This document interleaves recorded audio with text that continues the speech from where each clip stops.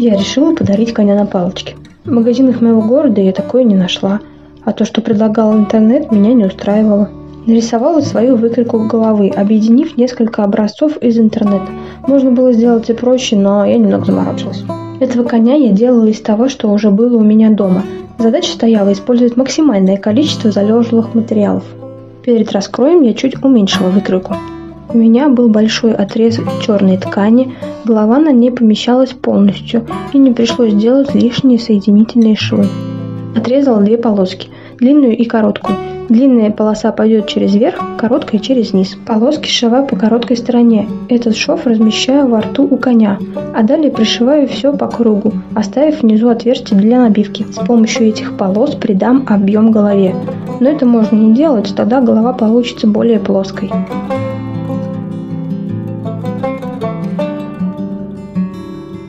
Выворачиваем нашу голову и набиваем. Для набивки я использовал старую подушку, которая давно лежала без дела. Уши я сделала из разных тканей, а внутрь разместила уплотнитель, чтобы уши стояли торчком.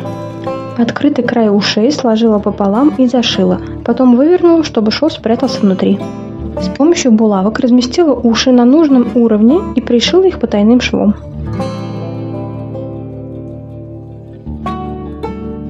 По итогу я еще убавила грудь коня. Не стала все разбирать, а просто ушила все потайным швом по линии убавки. Получившийся поперечный шов спрячется. Просто черный конь – это скучно. Я решила его раскрасить. Этот этап можно сделать вместе с ребенком. Как я и сделала. Теперь это сказочный конь.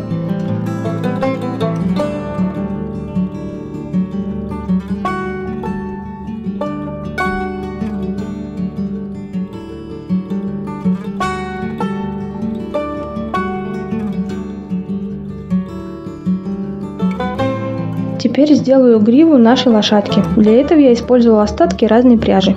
Все нитки намотала на книгу, подходящую по высоте. Затем эти нитки разрезала только с одного конца. Сделала так две намотки.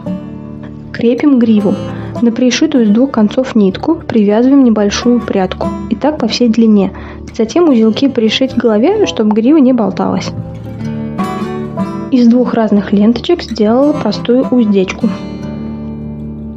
палка-скакалка. Это единственное, что мне пришлось докупить.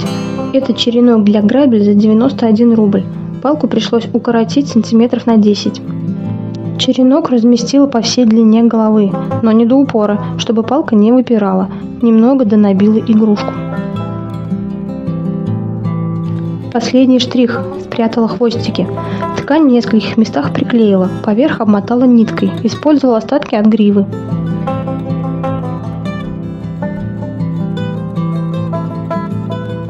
Вот и готов мой волшебный конь. Теперь на нем хоть в магазин, хоть к мечте.